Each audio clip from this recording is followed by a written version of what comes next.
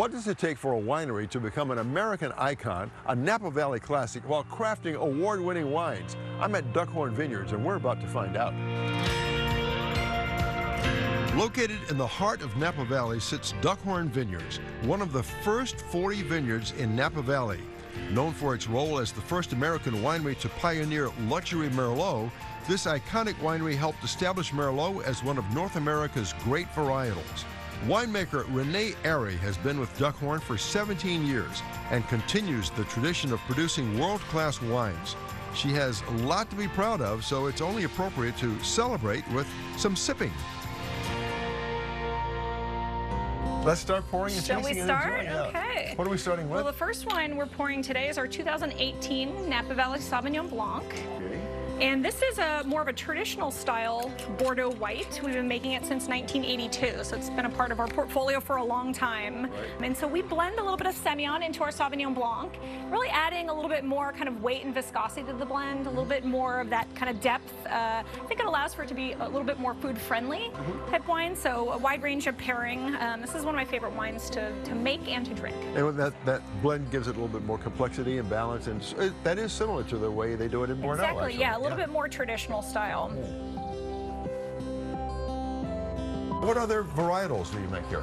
So we do um, we do mostly Bordeaux varietals. So we've been focusing on the red Bordeaux. So Cabernet Sauvignon, Merlot, of course, one of Right. the varietals we are well known for. Cab Franc, Petit Verdot, Malbec. We do the Sauvignon Blanc, and we also do some Chardonnay, which we started in 2012.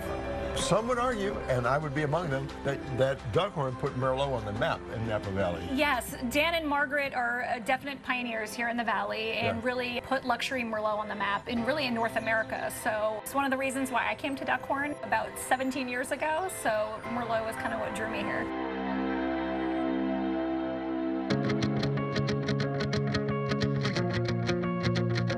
So, what are the most rewarding and the most challenging aspects of being a winemaker? One of the most rewarding is just being able to enjoy the wine with family and friends and kind of sit back and think about what went into that bottle and just kind of everything that came together over the course of, you know, a year or two years and just kind of enjoying that with each sip. That's Yeah. kind of my favorite piece.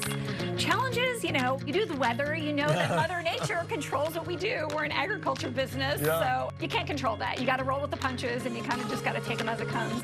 I think I have Thank you four different weather tracking systems that I that I go back to each day to look at what's going on here in the valley to make sure I'm ready. I may start consulting you for weather information. I don't know. I got your direct line now. so, how's, how's 2019 going so far? 19's you're, You're in the harvest already. We are. We are in the harvest. We started uh, mid-August with our Sauvignon Blanc and Semillon. They're always kind of our first uh, first varietals to hit the winery, and things are going great. I love your Sauvignon Blanc, but uh, you know I'm here for the Merlot. I want to try that. All right, well, let's jump into it. Okay. We have our 2016 Three Palms Merlot, which is our flagship wine. This is one that we've been making since our first vintage in 1978 and is an absolute favorite of mine. It's a favorite of mine as well. It's a beautiful ruby color. Yeah, this is uh, this is a wine that's it's really a, structured. It's an age-worthy Merlot. It's one that you can certainly lay down.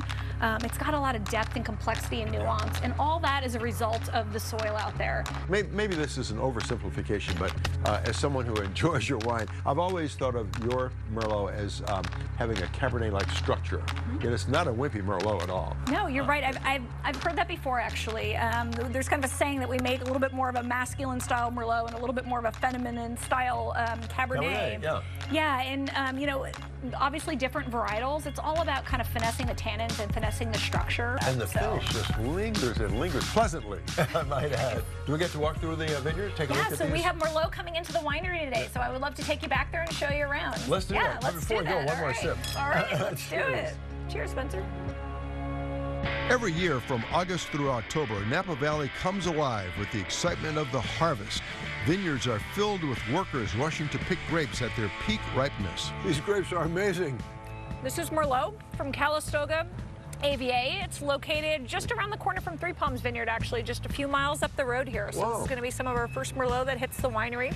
It's always early ripening. Mm-hmm. This is uh, Clone 15 and always shows this really beautiful kind of vibrant red fruit, a lot of plum, a lot of cherry, um, and really plush kind of tannin profile. Wow, delicious.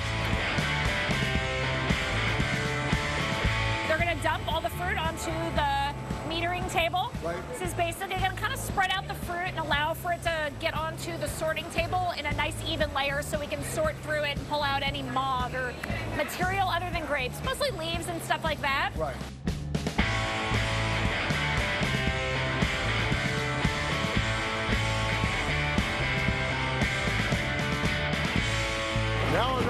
Wine stems from. My tour actually ends where the magic happens, in the wine lab. So what have we here? It looks like a fruit juice buffet. Spencer, we are here in the lab and there's a lot of action going on. So this is kind of exciting. This is our first finished ferment Ah, for the 2019 harvest. It's a Semillon that we picked on the 14th of this month and it just finished fermenting. So there's It's- some alcohol content Yep, here. there is absolutely Yeah. some alcohol in there. It's from our Toffanelli Vineyard, uh, which is a grower we've been working with for over 25 years, just up the road here on Dunaweal Lane. And it's got this really beautiful kind of passion fruit. There's a lot of tropical notes going on in there, but just that Semillon component, that Yeah. viscosity is really coming through. Wow. I like this just as it is. So that's going to be a, a component in our final Napa Valley Sauvignon Blanc blend. So Amazing. Yeah, Absolutely it tastes amazing. great, right? For decades, crafting classic wines has remained at the heart of Duckhorn Vineyards' philosophy, and Renee continues to keep that legacy alive. Coming up, Wow. Look at that.